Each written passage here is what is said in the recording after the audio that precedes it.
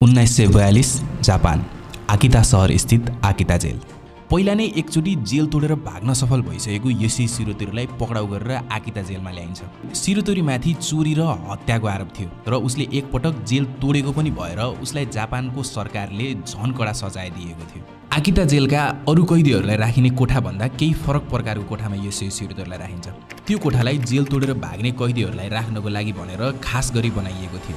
कोठा एकदम सानो थियो र भित्तामा भने चिफ्लो तामाको परत चढाइएको थियो। यसै सिरुतिरलाई राखिएको कोठामा एउटा मात्र झ्याल थियो र त्यो पनि यति धेरै माथि थियो कि दिउँसोमा पनि घामको किरणहरू भुइँसम्म पर्दैन थियो। त्यति मात्र होइन सिरुतोरीको दुइटै हातलाई जति बेला पनि हतकडी लगाएर राखिन्थ्यो र हरेक पन्ध्र पन्ध्र मिनटमा पुलिसहरू कोठा चेक गर्न आउँथे र सधैँको जेलगार्डहरूको पिटाइले सिरुतोरीको शरीर र दिमाग दुवै कमजोर बनाएको थियो। जापानको इतिहासमै आजसम्म कोही पनि कैदी त्यो कोठादेखि भाग्न सकेको थिएन। त्यसैले यसै सिरोतिरीलाई पनि त्यही कोठामा राखिएको थियो। तर तिन वर्षपछि उन्नाइस सय पैँतालिस जुन पन्ध्रमा आकाश गर्जिँदै पानी परिरहेको रातमा आकिता जेलको एकजना गार्ड सधैँ जस्तै पालै पालो गर्दै कैदीहरूको कोठा निरीक्षण गर्दै थिए र त्यही क्रममा सिरोतोरीको जेलको ढोकामा भएको सानो झ्यालदेखि भित्र हेर्दा उसको होस उठ्छ। उसको आँखाले जे देख्छ उसले विश्वास नै गर्न सक्दैन। किन भन्दा त्यति धेरै हाई सिक्युरिटी भएको जेलबाट पनि सिरोतरी फरार भइसकेको थियो। तर आखिर यो असम्भव जस्तो नै देखिने जेलबाट कसरी सिरोतरी भाग्न सफल भयो त? यो सबै कुरा तपाईँले अगाडि कहानीमा थाहा पाउनुहुन्छ। आजको कथा हो जापानको जादुगर कैदी यसै सिरोतोरीको जसले एक दुईचोटि होइन चार चारचोटि जेल तोडेर भागेको थियो र उसको जितदेखि आखिरमा जापानको सरकार समेत थियो र देशको संविधानलाई नै परिवर्तन गर्न बाध्य भएको थियो। आउनु सुनौ यो सङ्घर्षपूर्ण र रोचक जीवन कथा जेल तोड्ने जादुगर यसै सिरोतोरी साल उन्नाइस सय सात जापानको अमरी सहरमा यसै सिरोतरीको जन्म हुन्छ।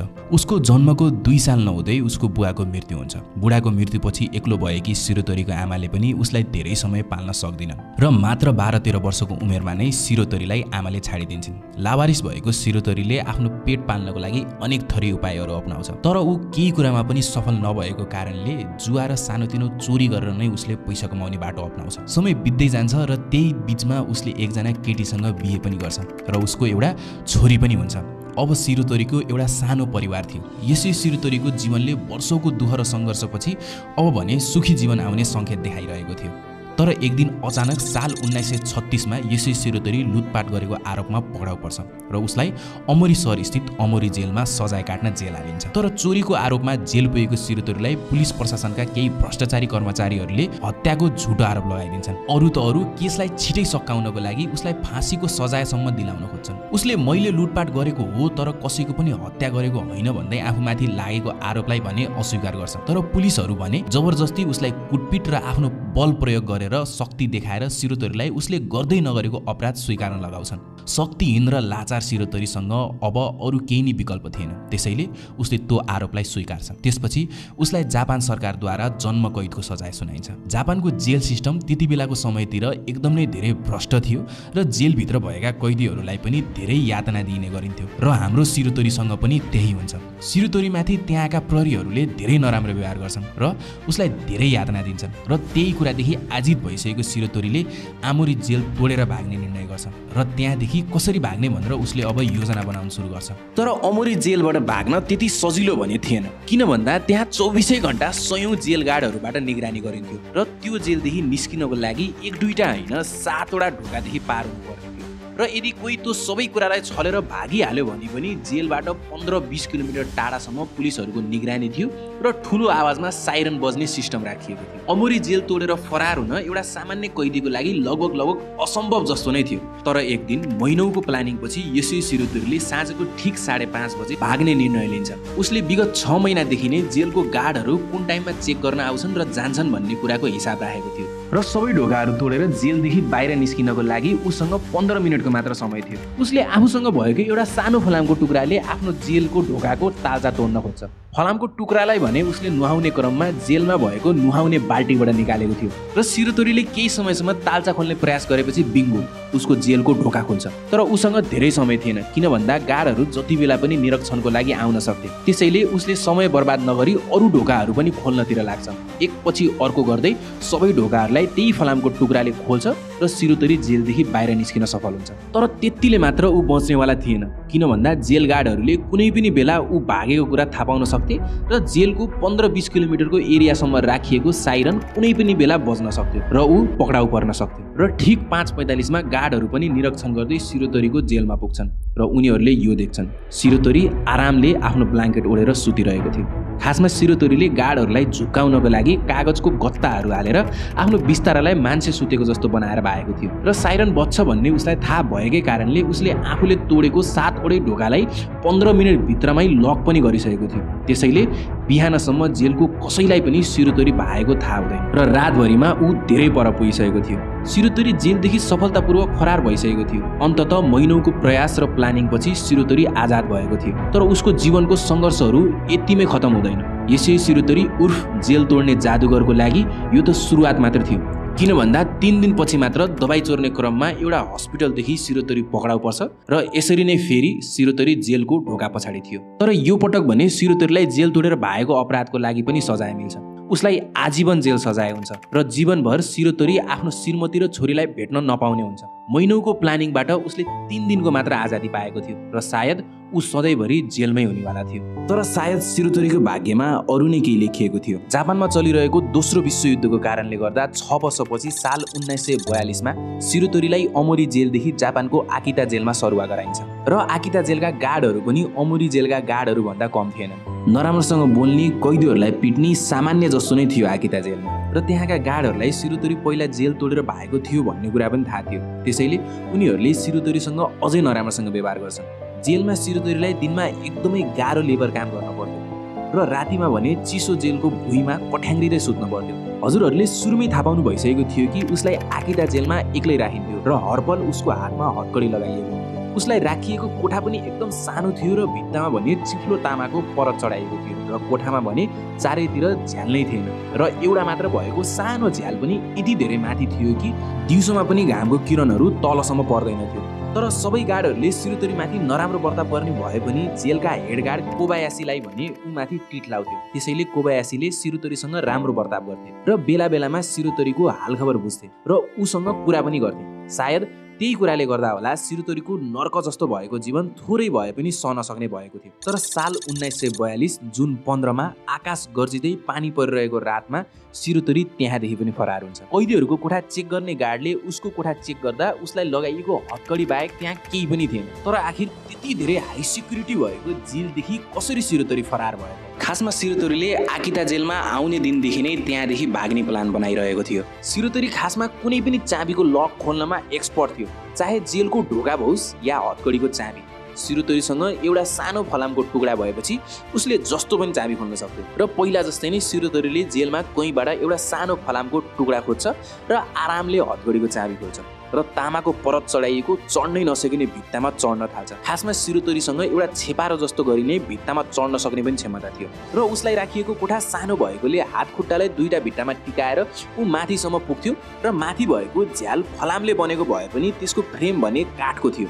र सिरोतरीले धेरै दिन लगाएर बिस्तारै बिस्तारै गर्दै माथिको काठलाई लुज बनाएको थियो। सिरोतरीले हरेक रात आफ्नो हातमा लगाइएको हत्कडी खोल्थ्यो भित्ता चढेर माथि पुग्थ्यो र झ्याललाई थोरै बिगारेर तल झरेर फेरि हतगडी लगाएर केही पनि नभए जसरी सुत्थ्यो। र आफू भाग्दा हल्ला हुन्छ भन्ने थाहा भएर पानी पर्ने नै दिन पुरेर ऊ फरार भएको थियो। सिरोतरी आकिता जेलदेखि पनि फरार भएको खबरले सारा जापानको जेल प्रशासन हल्लाइदिन्छ र उसलाई खोज्नको लागि भनेर स्पेसल खोजी टोलीलाई खटाइन्छ। तर सिरोतरीको अत्तो पत्तो थिएन। यो पटक भने पुलिसले सिरोतरीलाई पक्र्नै सक्दैनन् दिन बित्छ हप्ता बित्छ महिना बित्छ। तर सिरोतरीलाई भेटाउन पुलिसहरूको लागि असम्भव जस्तो नै भइसकेको थियो। तर एक दिन सिरोतरी फरार भएको तिन महिनापछि आकिता जेलको हेड गार्ड कोबायासीको घरको ढोकामा कसैले घन्टी बजाउँछ।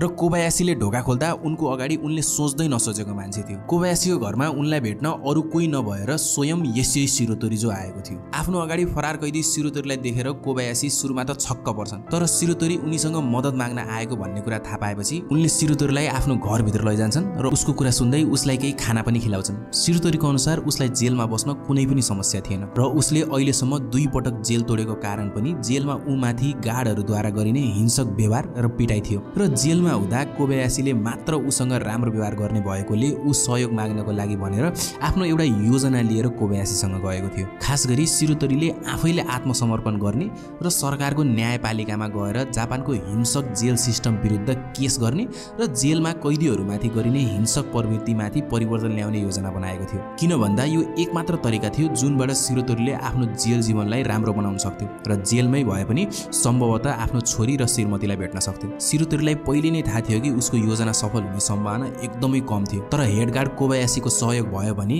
सायद उसको यो योजना सफल हुन सक्थ्यो। तर सिरुतुरीले आफ्नो सबै कुरा राखेर बाथरुम गएको बेला कोबायासीले पुलिसलाई फोन गरिदिन्छन् र यसरी नै सिरुतुरी तेस्रो पटक फेरि जेलभित्र थियो। अब भने सिरुतुरीले जीवनमा कहिल्यै पनि पुलिसको कुनै पनि कर्मचारीलाई विश्वास नगर्ने कसम खान्छ र कोर्टद्वारा सिरुतुरीलाई दोस्रो पटक पनि जेल तोडेर भागेको अपराधमा उसको जन्म कैदमा तिन वर्ष अझै थप गरिदिन्छ। सिरुतुरीले कोर्टमा आफूलाई टोकियो जेलमा सजाय काट्न राखिदिन भनेर अनुरोध गर्छ। किन भन्दा त्यहाँको मौसम अलि न्यानो थियो र पहिलाको मुटु नै जमाइदिने चिसो जेलहरूले गर्दा उसलाई धेरै नै दुःख भएको थियो तर कोर्टद्वारा उसको आग्रहलाई अस्वीकार गरिन्छ र उल्टो उसलाई जापानको सबैभन्दा चिसो ठाउँमा भएको जेल आबासिरी जेलमा पठाइन्छ। आबासिरी जेल जापानको सबैभन्दा उत्तरी भागमा भएको जेल थियो। आबासिरी जेलमा चिसो माइनसमा थियो।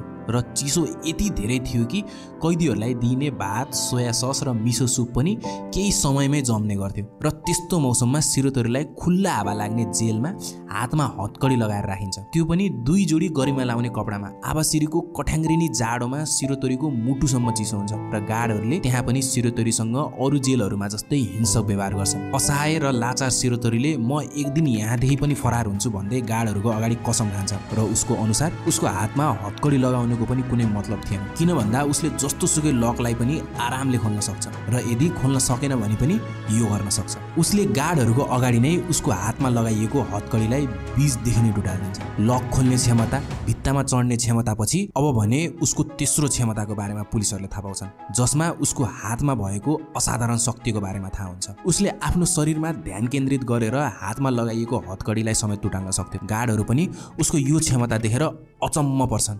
अब भने जेलगार्डहरूले बुझिसकेका थिए कि सिरोतोरीलाई सामान्य जेलमा सामान्य हतकडी लगाएर राखियो भने ऊ जसरी पनि भाग्छ भनेर। सो त्यसैले सिरोतोरीलाई राख्नको लागि भनेर स्पेसल सिरोतोरी प्रुफ जेल कोठरी र हतकडी बनाइन्छ। जुन यस्तो थियो उसको कोठालाई पुरै स्टिलको बनाइन्छ र झ्याल ढोका भने यति पनि काठको प्रयोग नगरी पुरै फलामको राखिन्छ र जेलको ढोकामा भएको हावा आउने पाल भने अहिलेको पटक सानो बनाइएको थियो जुनबाट एउटा वयस्क मान्छे घुस्न असम्भव जस्तो नै थियो। उसको लागि विशेष गरी बनाइएको हतकडीको कुरा गर्दा त्यसको वजन मात्र बिस केजी थियो र त्यसलाई खोल्नको लागि कुनै चाबी नै थिएन र यदि त्यसलाई खोल्नु पर्यो भने दुईजना कारिगरलाई बोलाउनु पर्थ्यो र कारिगरहरूसँग भएको विशेष चाबीदेखि करिब करिब दुई घन्टा जतिको समय लगाएर त्यो हतकडीलाई खोल्नु पर्थ्यो र हरेक दुई चार हप्तामा कारिगरहरू उसको हतकडीलाई खोल्न आउँथे र सिरोतोरीले त्यो बेलामा मात्र नहुनु पाउँथ्यो। र सायद सिरुतोरीलाई नुहाउनु पर्ने आवश्यकता पनि थियो। किन भन्दा हप्तौसम्म लगातार लगाइएको हतकडीको फलामको खियाले गर्दा उसको हातमा घाउ हुन्थ्यो र त्यो घाउमा किरा समेत पर्थ्यो र उसको हातमा भएको जस्तो हतकडीलाई उसको खुट्टामा पनि लगाइएको थियो। आवासिरी जेलमा जाडो भने आफ्नो चरममा पुगिसकेको थिएन र त्यतिमै सिरुतोरीको शरीरले हार मान्न लागिसकेको थियो र अझै बढ्दै गएको जाडोले सिरुतोरीलाई जिउँदो रहन दिन्छ कि नै भन्ने पनि निश्चित नै थिएन। जेलका गार्डहरूले पनि सिरोतोरीलाई पहिलेदेखि नै थोरै दिइने खानाको मात्रालाई अझै आधामा घटाइदिएका थिए। सायद सिरोतोरीको लागि पनि यो अति नै भएको थियो। गार्डहरूले सधैँ जसो खानालाई ढोकादेखि तल सर्काइदिन्थे र एउटा जनावर जसरी नै सिरोतोरी भुइँमा घिस्रिँदै खानासम्म पुग्थ्यो र जसरी तसरी आफ्नो खाना खान्थ्यो। उसको हात खुट्टामा भएको भारी हतकडीहरूले उसको हरेक काममा दुःख दिइरहेको थियो। अरू त अरू सिरोतोरीलाई सुत्न समेत गाह्रो हुन्थ्यो। उसको जीवनको प्रत्येक दिनलाई आवासिरी जेलमा नर्क जस्तो नै बनाइएको थियो भन्ने कुरामा कुनै पनि शङ्का थिएन। यस्तै गर्दै जसरी तसरी चिसो दुई चार महिना बित्छ र सायद चमत्कारले गर्दा होला सिरुतोरीको सास अझै पनि बाँकी थियो र अब भने गर्मी सुरु हुँदै थियो र सिरुतोरीको शरीरमा केही बल पनि फर्किँदै थियो तर जे भए पनि केही पनि हुनेवाला थिएन। उसको हात खुट्टा बिस बिस किलोको हतकडीले बाँधेर राखिएको थियो। महिनौ बित्छ। र जेलमा केही पनि नयाँ काण्ड भएको थिएन। सायद यो पटक भने सिरोतरीको हिम्मतले जवाब दिइसकेको थियो। तर अगस्तको महिनामा आवासिरी जेलको एकजना गार्डले रातिको बेलामा जेलको छतमा केही टक टक टक टकको हल्ला भएको सुन्छन्। गार्डलाई केही भयो कि भन्ने शङ्का लाग्छ र उसले पालै पालो गर्दै कैदीहरूको कोठा चेक गर्न थाल्छ र जब ऊ सिरोतरीको ढोकामा पुगेर भित्र हेर्छ उसको होस उठ्छ। उसलाई आफ्नो आँखामा विश्वास नै हुँदैन। कोठाभित्र सुत्ने बिस्तारा र कैदीले लगाउने ड्रेसलाई पटाएर राम्रोसँग राखिएको थियो र सिरोतरीलाई लगाइएको हतकडी जुनलाई खोल्न दुईजना कारिगरलाई पनि घन्टौँ लाग्थ्यो त्यसलाई पनि बिस्तारकै साइडमा मिलाएर राखिएको थियो र हाम्रो यसो सिरोतरी जेलदेखि गायब थियो। अन्तत सिरोतरीले आवासिरी जेलदेखि पनि भाग्छु भनेर खाएको कसम पुरा गरेर देखाएको थियो। जेलको अलार्म बज्छ र गार्डहरूले उसलाई खोज्न थाल्छन् तर सिरोतरी गायब भइसकेको थियो। अब हजुरहरूको मनमा पनि त्यही प्रश्न आयो होला। आखिर त्यस्तो गरेर राखिएको जेलदेखि पनि कसरी सिरोतरी भाग्यो त आउनुहोस् जानु सिरोतरी कसरी भाग्यो त खासमा उसले विगत छ महिना अगाडिदेखि नै त्यहाँदेखि भाग्ने प्लानको सुरुवात गरिसकेको थियो। जुन बेला उसको शरीरमा शक्ति थिएन उसँग थियो त सिर्फ समय र धैर्यता। हरेक दिन गार्डहरूले उसलाई खाना दिन्थे उसले जसरी तसरी खाना खान्थ्यो तर खानासँग आएको थोरै मिसो सुप भने उसले बचाएर राख्थ्यो र थोरै मिसो सुपलाई आफ्नो हातखुट्टामा भएको हतकडीमा लगाउँथ्यो र थोरैलाई भने ढोकामा भएको फलामको झ्यालमा लगाउँथ्यो। किन भन्दा सिरुतरीलाई राम्ररी थाहा थियो कि यदि फलामसँग नुन मिसियो भने फलाममा छिटो खिया लाग्छ र उसको फलामको हतकडी र ढोकामा भएको फलामको झ्याललाई छिटो नै बिगार्छ भन्ने। र यस्तो गरेको एक महिना महिनै उसको हतकडीको पहिलो टुक्रा खिया लागेर झर्न थाल्छ र बिस्तारै बिस्तारै एकपछि अर्को गर्दै हतकडी र झ्यालको अरू टुक्राहरू पनि झर्न थाल्छ। र चार महिना हुँदा त सिरोतेरीले हात खुट्टाको हतकडी र झ्यालको फलाम दुइटैलाई हटाउन सक्ने भइसकेको थियो। तर अझै पनि सिरोतेरीलाई जेलदेखि भाग्न एउटा समस्या थियो। ढोकामा भएको पाल यति सानो थियो कि सिरोतरी त्यहाँदेखि निस्किन नसक्ने अवस्था थियो। र अब भने सिरोतरीले आफ्नो चौथो असाधारण क्षमताको प्रयोग गर्छ जुन थियो आफ्नो इच्छा अनुसार आफ्नो हातको जोड्नीहरूलाई फुस्काउन सक्ने क्षमता। र यसै गरी नै उसले आफ्नो हातको जोड्नीलाई फुस्काउँछ र शरीरलाई सानो बनाएर त्यो छिर्नै नसकिने पालदेखि आफ्नो शरीरलाई निकाल्छ र जेलको छतमा भएको एउटा सानो झ्यालदेखि आवासिरी जेलदेखि बाहिर निस्किन्छ। र योसँगै सिरोतरीले तेस्रो पटक पनि जेल तोडेर भागेको थियो र आवासिरी जेलको इतिहासमै पहिलो फरार कैदी बनेको थियो। तर आवासिरी जेलदेखि भागेर मात्र सिरोतरीको समस्याहरू खतम भएका थिएनन् किन भन्दा आवासिरी जेल जापानको उत्तरी होकाइडोमा थियो। र त्यो ठाउँ ठुला ठुला बरफ जमेको हिमालले घेरिएको थियो र अत्याधिक चिसोले गर्दा नै सिरोतरीको ज्यान जान सक्ने सम्भावना थियो र चिसोले नभए त्यहाँ भएका जङ्गली भालुहरूको हमलाबाट ज्यान जान सक्थ्यो। जेल गार्डहरूले पनि सिरोतरी बाँच्न सक्ने कुनै आश नै छैन भन्दै हाँस्दै थिए। तर उतापट्टि सिरोतरीको श्रीमती आफ्नो छोरीलाई काखामा च्यापेर सिरोतरी फर्किने आशमा बसिरहेको थिइन्। सिरोतरीलाई खोज्नको लागि खटिएको प्रहरी टोलीले आवासिरीको वरिपरि सबै कुना काप्चा जङ्गल पहाडमा खोज्छन्। तर उसको केही नाम निशाना थिएन। हप्ता बित्छ महिना बित्छ र सिरोतरी भागेको एक वर्ष पनि बित्छ। त्यति बेला जापानले दोस्रो विश्वयुद्ध लडिरहेको थियो र सिरोतरी भागेको ठिक एक वर्षपछि जापानले अमेरिकासँग युद्ध हार्छ। युद्धमा भएको हारले जापानको राजनीति र सरकारी विभाग सबै कुरालाई खलबल लगाइदिएको थियो र त्यही कुराले गर्दा सिरोतरीको खोजी कार्य पनि रोकिन्छ। तर सबैको एउटै प्रश्न थियो आखिर कहाँ छ त सिरोतरी? कतै ऊ पहिले नै मरिसकेको त छैन। सिरोतरी जिउँदै नै हुन्छ। खासमा उसले बरफको पहाडहरूको बिचमा एउटा पुरानो कोइला खानी भेटाएको थियो र त्यही खानीको भित्र आफ्नो घर जस्तो नै बनाएर बसिरहेको थियो। उसले खानाको लागि जङ्गली कटुस र बेरीहरू बटुल्थ्यो र कहिले कसो जङ्गली खरायोहरूको शिकार गर्थ्यो र केही समयपछि जङ्गली भालुहरूलाई हेरेर खोलादेखि गङ्गटालाई पकड्न पनि सिकिसकेको थियो। सिरोतरीको जीवन राम्रो नै चलिरहेको थियो र त्यस्तो गर्दै त्यही गुफामा सिरोतरीले दुई वर्ष बिताउँछ। तर दुई वर्षपछि सिरोतरीलाई बाहिर बस्तीतिर जान मन लाउँछ र अन्तत उसले आफूलाई रोक्न सक्दैन र त्यही नजिकै पहाडको तल्लो भागमा रहेको एउटा गाउँतिर झर्छ र दुई वर्षपछिको जापान उसले देखेको भन्दा बिल्कुल नै फरक थियो। साइनबोर्डहरू जापानिजमा नभएर इङ्ग्लिसमा थियो। जताततै भएको युद्धको माहौल सकिसकेको थियो। र सबैभन्दा अचम्मको कुरा जापानिज युवतीहरूले अमेरिकन जवान युवाहरूको हात समातेर हिँडिरहेका थिए। सुरुमा त उसले के भइरहेको छ भन्ने कुरै बुझ्दैन। तर उसले के भइरहेको छ भनेर बुझ्नको लागि एउटा पत्रिका लिएर पढ्न थाल्छ। पत्रिका पढेपछि ऊ चकित थियो। उसले बल्ल थाहा पाउँछ कि एक वर्ष अगाडि नै जापानले हार स्वीकार गरिसकेको थियो र अब भने उसले लुकेर बस्नुपर्ने कुनै कारण थिएन। त्यसैले उसले अब आफ्नो परिवारलाई भेट्न सक्न देख्दै थियो। आफ्नो पुरानो गुफालाई विदा गरेर अब भने सिरुतोरी आवासिरीदेखि दक्षिणतिर लाग्छ र पचास दिनपछि ऊ सपरो भन्ने सहरमा पुग्छ। उसलाई त्यहाँ एकदम भोक लागेको थियो र उसले त्यहीँ भएको एउटा टमाटर बारीदेखि एक दुईवटा पाकेको टमाटर टिपेर खान्छ। तर यही नै उसको सबैभन्दा ठुलो गल्ती हुन जान्छ। किन भन्दा बारीको साउले उसलाई देख्छ र पहिल्यैदेखि नै त्यो बारीमा चोरी गरिरहने चोर जस्तो मानेर सिरोतोरीलाई पिट्न थाल्छ। उनीहरू दुवैजनाको बिचमा ठुलो लडाइँ पर्छ र उनीहरू दुईजनाको लडाइँमा प्रयोग भएको कृषि औजारले बारीको साउको पेटमा ठुलो नै चोट लाग्छ र धेरै रगत भएको कारणले उसको त्यही नै ज्यान जान्छ। सिरोतोरीलाई त्यहीँको लोकल पुलिसहरूले पक्राउ गर्छन् र केही समयपछि ऊ तिन पटक जेलदेखि फरार भएको प्रख्यात कैदी यसै सिरोतोरी हो भन्ने पनि उनीहरूलाई थाहा हुन्छ। उसलाई पहिले नै जन्मकैद थियो र अब त झन् उसको नाममा दुईवटा हत्याको आरोप थियो। त्यसैले अब भने उसलाई सरकारद्वारा फाँसी यानि मृत्युको सजाय सुनाइन्छ। र उन्नाइस सय सडचालिसमा उसलाई सपोरोमै भएको जेलमा आफ्नो फाँसी हुनभन्दा अगाडिको दिनहरूलाई काट्नको लागि पठाइन्छ। अब भने पुलिसहरूलाई सिरोतोरीको सबै भाग्ने तरिकाहरूको बारेमा थाहा थियो र उसको असाधारण क्षमताहरूको बारेमा पनि पुलिसहरूले थाहा पाइसकेका थिए। र यो पटक भने पुलिसहरूले सिरोतोरीलाई जसरी नै रोक्नको लागि भनेर अझै कडा प्रकारको जेल बनाउँछन्। जुन यस्तो थियो। सुरुमा त सिरोतोरीको चौबिसै घन्टा निगरानी गर्नको लागि एक दुईजना होइन छ छजना गार्डहरूलाई खटाइन्छ। तिनीहरूले दिनभरि रातभरि सिरोतोरीमाथि नजर राख्ने गर्थे। आवासिरीको जेलमा भएको कमी कमजोरीहरूलाई पनि सपोरोको जेलमा सुधार गरिन्छ। भित्ता झ्याल ढोकालाई अझै बलियो बनाइन्छ र जेलको कोठा या ढोकामा भएको कुनै पनि खुल्ला पालहरूलाई सिरोतोरीको टाउको मात्र समेत छिर्न नसक्ने साइजको बनाइन्छ। किन भन्दा पाल हल्का थोरै मात्र पनि ठुलो भयो भने सिरोतोरी पहिला जस्तै नै आफ्नो हातलाई डिस्लोकेट गरेर जेलदेखि भाग्न सक्थ्यो। छजना पुलिसहरूलाई त्यो कोठा र आफूमाथि यति विश्वास थियो कि यो पटक भने सिरोतोरीको हातमा हत्कडी समेत लगाइएको थिएन। हाम्रो सिरोतोरी अब भने बुढो हुँदै थियो र उसले यो जेल पनि तोडेर भाग्न सक्ने सम्भावना नाको बराबर थियो र उसलाई फाँसी दिने दिनहरू पनि नजिकै थियो। सायद आफ्नो छोरी र श्रीमतीको एक झलक पनि नदेखि सिरोतोरीको मृत्यु हुनेवाला थियो। ऊ एकदम चिन्तित र हताश अवस्थामा पुगिसकेको थियो र गार्डहरूले पनि यो कुरा थाहा पाइसकेका थिए। किन भन्दा सिरोतोरीले सधैँ जस्तो केही खोजिरहे जसरी नै जेलको माथि माथि हेर्ने गर्थ्यो। सिरोतोरी त्यो जेलदेखि भाग्न सक्दैन भन्ने कुरामा गार्डहरू ढुक्क थिए त्यही पनि उनीहरूले सधैँ जसो नै कोठालाई चेक गर्थे। भित्ता झ्याल छत डेली जसो नै चेक हुन्थ्यो।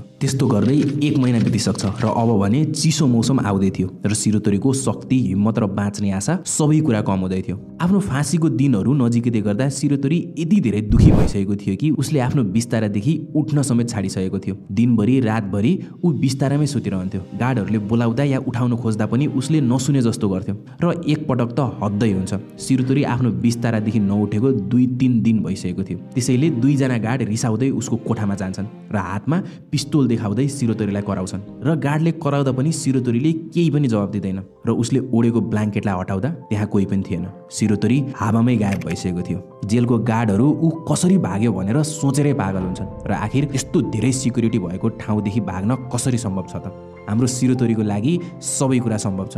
खासमा उसले पहिला जस्तै नै महिनौ अगाडि नै सपोरो जेलदेखि भाग्ने प्लान बनाइसकेको थियो र एकपछि अर्को गर्दै बिस्तारै बिस्तारै आफ्नो भाग्ने योजनालाई सफल पारिरहेको थियो। सुरुमा त उसले गार्डहरूलाई झुक्काउन र आफ्नो असली प्लानदेखि ध्यान भट्काउनको लागि भनेर माथि माथि हेर्ने गरेको थियो।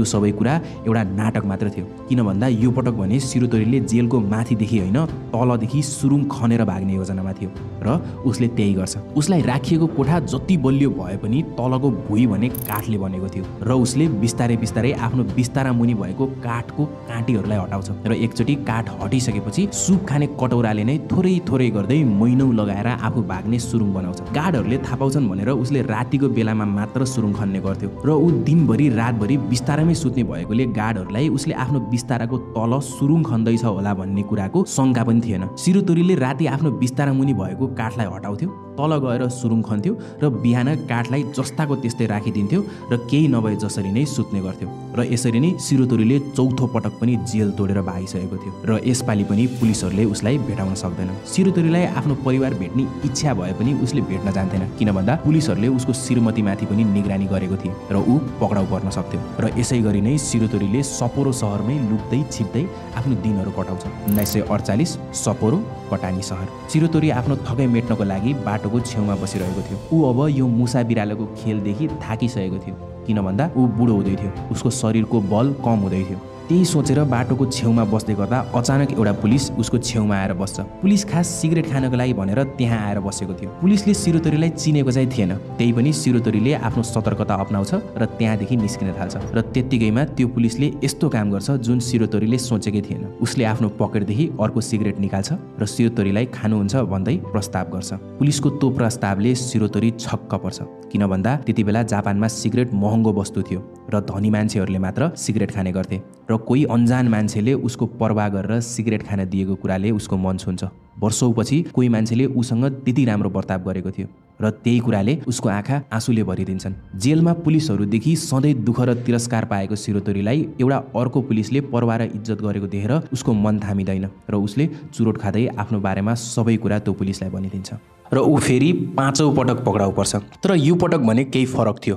उसको यो सङ्घर्षको कहानी जापानभरि फैलिसकेको थियो र उसले आत्मसमर्पण गरेको कुराले गर्दा पनि सरकारको न्यायपालिकाले उसको कुरा सुनिदिन्छन् र उसको सङ्घर्षको कथाले जापानको सरकारको मान्छेहरूको पनि मन पग्लिन्छ र सारा जापानको जेल सिस्टममा परिवर्तन ल्याइन्छ। उसले पहिला आफ्नो आत्मरक्षामा गरेको अपराधलाई पनि फेरि अनुसन्धान गरिन्छ र उसलाई दिएको फाँसीको सजायलाई पनि माफी दिइन्छ। चार पटक जेल तोड्दा पनि उसले एकजना गार्डलाई पनि थोरै मात्र पनि चोट पुऱ्याएको थिएन। उसको सबै कुरालाई सपरोको कोर्टले सुनिदिन्छ। र उसलाई मात्र बिस वर्षको जेल सजाय हुन्छ। त्यति मात्र होइन उसलाई चिसोले समस्या भएको कारणले उसलाई अलि तातो हुने ठाउँमा टोकियो जेलमा नै राखिन्छ र पहिलोपटक टोकियो जेलका गार्डहरूले उसँग राम्रो बर्ताव गर्छन्। उसको लागि त्यो बिल्कुल नै नयाँ कुरा थियो तर पनि सिरुतरीलाई अब भाग्नबाट रोक्नको लागि भने सावधानीहरू अप्नाइन्छ।